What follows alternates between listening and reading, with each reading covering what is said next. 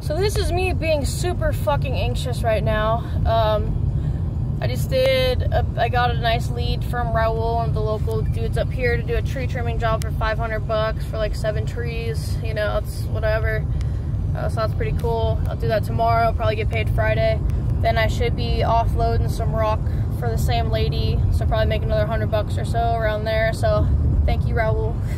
Uh, and then I got a lead from Frog to rent out this house for 1600 a month.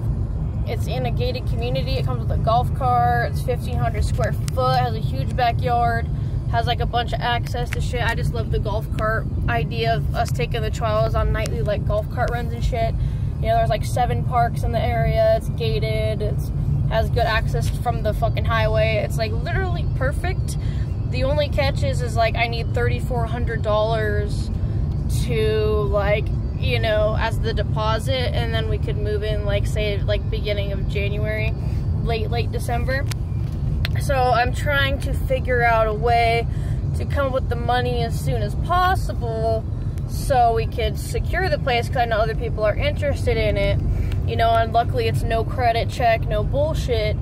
So it's basically as long as we kind of like can pay. So I'm trying to come up with the money as like a sign of like hey I got this but even though I don't got it you know, so I'm trying to make a deal with Frog Dog, but he's not answering his phone, so I'm having a fucking anxiety attack, because I'm like, oh, I mean, if we don't get it, it is what it is, but I mean, I'm really hoping because I could really see us there, and then if we got that, my plan would be to work at Amazon maybe at night, and move all my shit to Saturday, um, you know, work off my debt to Frog, my hypothetical one I'm having in my mind, or whatever, 200 hours, you know, um, and like try to join the carpenters union again because then like one week's paycheck will be all fucking rent, you know, and we'd be sitting pretty in a great neighborhood and it'd be all fucking good. So I have this really good dream of grandeur in my mind, you know, so it's just like, fuck.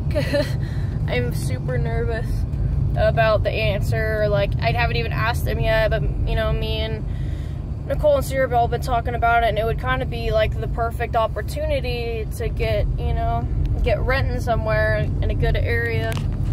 I'm just super fucking nervous. So uh, let's all hope for the best now, because that would be fucking perfect.